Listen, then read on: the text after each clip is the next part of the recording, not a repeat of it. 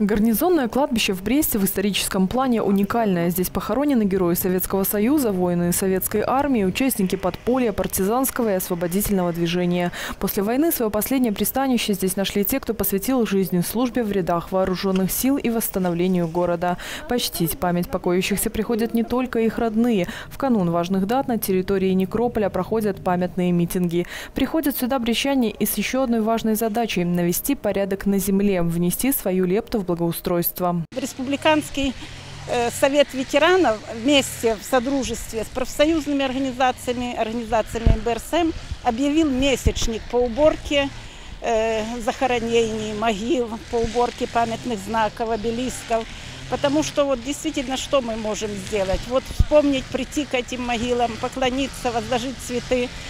И естественно, что Ленинская районная вместе и город Брест активно включились э, в эту акцию. Активно включилась в процесс молодежь областного центра Брещины. Я считаю, что ну, это дело нужно и полезно, что нужно всегда убирать, э, что нужно, чтобы было везде хорошо, чтобы было ну, э, чисто.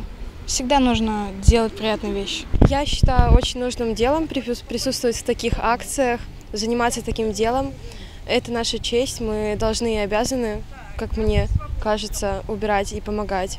Я о них всегда буду помнить, и мне кажется, их забыть невозможно. На гарнизонном кладбище захоронено порядка 4000 человек. Есть братские могилы, центральная аллея с памятником воину-освободителю. Работы немало, однако те, кто трудился там сегодня, уверены, это лишь малая часть того, что могут и должны делать потомки великого поколения, поколения победителей. Не впервые часто берут на такое мероприятие. Я приехал сюда, чтобы почтить память павших воинов, они отдали за нас свою жизнь, они отдали жизнь за своих детей, за самих себя. Это нужно уважать, и мы делаем все, что можем чтобы почтить их память. К слову, присоединиться к инициативе по благоустройству памятных мест и мест захоронений, которая продлится в Бресте по 15 июля, может каждый. Уже сегодня в числе участников представитель многих предприятий и организаций. Только в Ленинском районе города над Бугом порядка 180 мемориальных знаков, памятных досок и мест захоронения. Организаторы акции уверены, совместными усилиями можно охватить своим вниманием их всем.